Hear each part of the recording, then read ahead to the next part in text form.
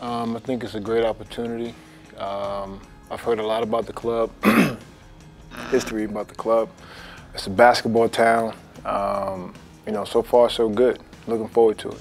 Uh, I think it's moving along. Um, it's, it's as it as it usually is at this point. Uh, guys getting used to each other, what they like to do, where they like to shoot, where they like to catch the ball. So I mean, right now we we're still gelling. It's going to take some time, but I think coach is doing a pretty good job with everybody.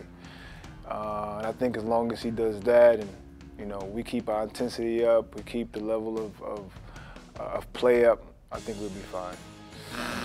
Honestly, I think everybody here, uh, everybody here so far. There's a few that you know stands out. Uh, JP, he's you know he's also a veteran. He's also older like myself. Um, we got pretty good scorers and shooters like Jamar, and then you got Nobel. So I mean, um, we have a pretty good roster right now. We do need some more pieces to, to be able to compete in the EuroLeague because the EuroLeague is is EuroLeague. It's tough. It's not easy. We need more depth. Um, and I think if we do that, just add a couple more pieces to what we have now, we'll be we'll be pretty pretty good. You know, I usually don't take a look at groups and you know players out there and teams. I, I, I normally never do that. Uh, I did take a look at our group and all the other groups.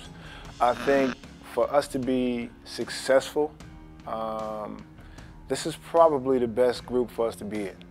Um, you know, we do have a couple powerhouses, but um, you know, I like to take game by game, and you never know what can happen. So as long as we take care of business here at our at our gym and you know, get some steals away, we'll be we'll be okay. So that's my that's my personal goal is, is to be able to be strong here at home and try to get some steals on the road.